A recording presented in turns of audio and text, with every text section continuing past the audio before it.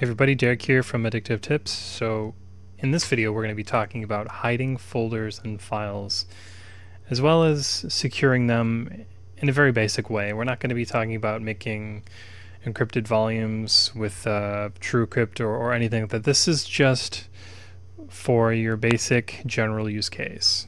Something maybe you want to hide from your family or your siblings or you're just paranoid. Nothing that is super like super duper like secret and encrypted with a ton of different layers of security. So to start off, let's talk about hiding files.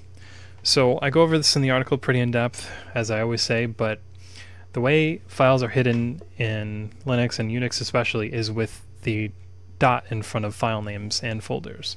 So if I list my folder in my home directory, you can only see stuff without periods in front of it.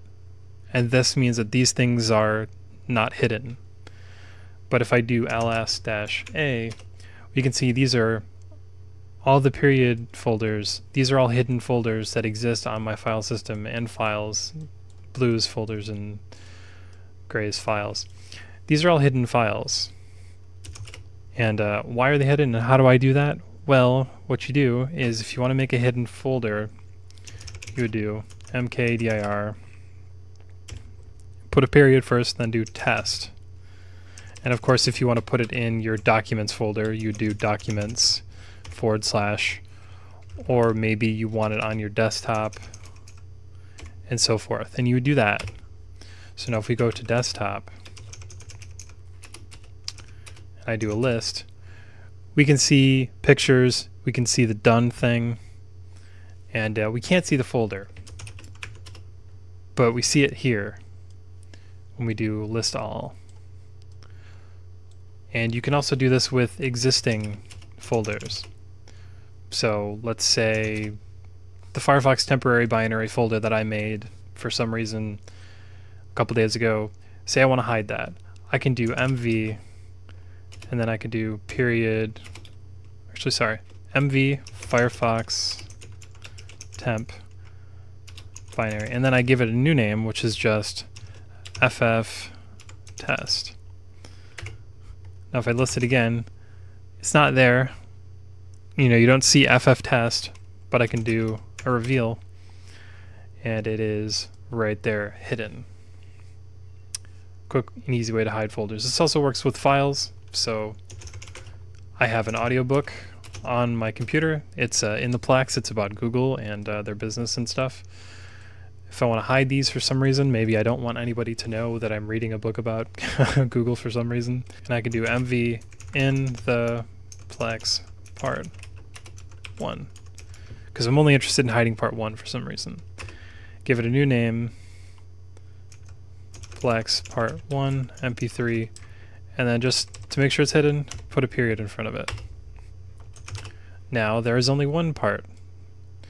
And I can also unhide stuff by once again moving it, doing uh,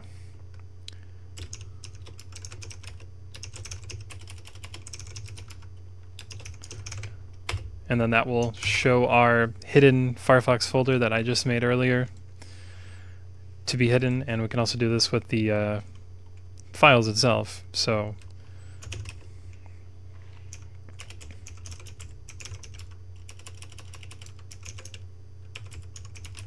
and then just give it the new name.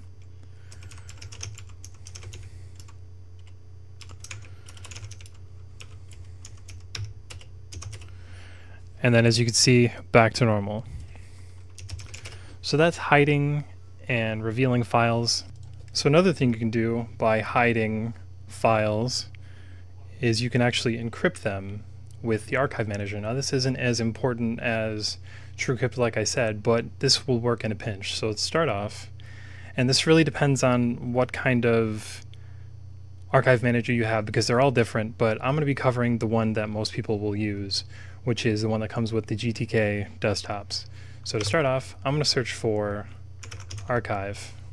Now this is a lot different than opening up my downloads folder and clicking compress. This is not what we're doing. What we're doing instead is we're going to go over here, we're going to click up here, click new archive.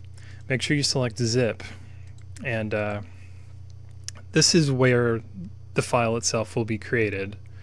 So this isn't what's being compressed, it's where it's created. So you type in the file name, and if you want to hide it, remember, as I said earlier, you use a period and then just type in compress secret files. It really doesn't matter what you call it, but just put that in the way in front of it, and that will auto hide it.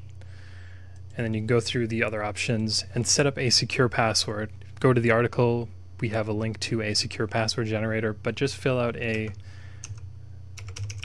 halfway secure password. And by default, the file list is encrypted, that's automatically selected. And once you click the create button, the secret archive is made and it's password protected and all you do is go to your file manager and you just add whatever you want to it and click the add button when you drag it in there. And it will add it to the compressed file. And as you can see this is now locked.